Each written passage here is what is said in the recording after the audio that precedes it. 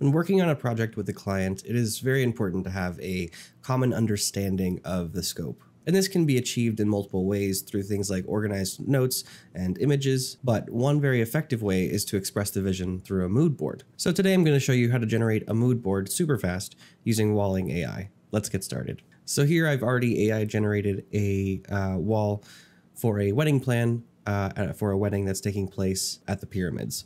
Um, so we've already got some wedding theme and decor, some logistics and accommodations, the timeline, um, various things for this reception and entertainment, the uh, wedding ceremony itself, uh, the guest list and invitations. One thing that I think this could really use is a mood board. So to do that, I'm just going to go ahead and hit new section at the bottom here, and I'm going to hit AI generate. Then I'm going to put create a mood board for a wedding where the theme is a sphinx. And I'm just going to hit enter and it will start generating a mood board for that.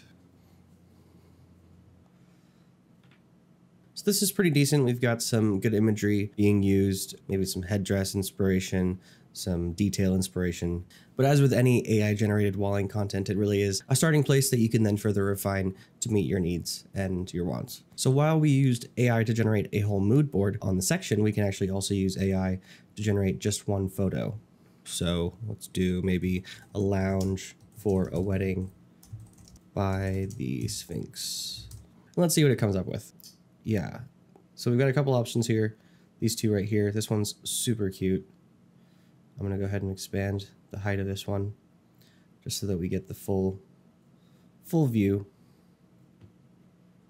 I'm going to delete this guy right here. And as you can see, we actually do have a history of all the AI images it generated right here. So if there's something you want to uh, re-reference or something like that, it's all right here in the history. And then maybe here we can do a wedding cake for a wedding inspired by the pyramids. And yeah, we got a couple options here. And if you don't like them, you can always regenerate the same prompt over and get new options to pick from. Ooh, I really like this one. This one's really good.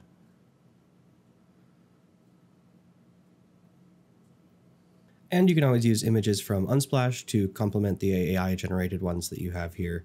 Uh, so let's do pyramids.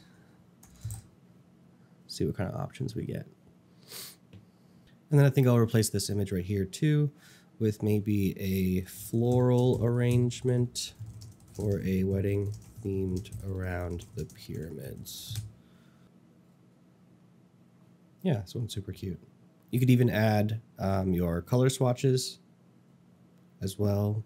Any colors you're thinking of doing for the theme of the wedding, just have those there in your mood board as well. And yeah, and of course, it is really all about how specific you get with your prompts. So if we did like, instead of just floral arrangement for the pyramids, we could do a red floral arrangement for a wedding themed around the pyramids. And yeah, something like this might work better with your color swatches that you've got, or, you know, things like that. We can adjust the heights of these to sort of even out the mood board a bit. And there you go. We got an effective mood board that conveys a lot of visual ideas to your clients very quickly so that you guys can discuss these things and figure out what, you know, how you want to move forward on the project and make decisions faster. So that is all for this one. I hope this gave you some inspiration on how you can use Walling AI to generate mood boards to express your visions really fast. Just a reminder, you can do all of this for free right now. So give it a go at walling.app and share your results with us. We'd love to see what you come up with. Until next time, have a good one.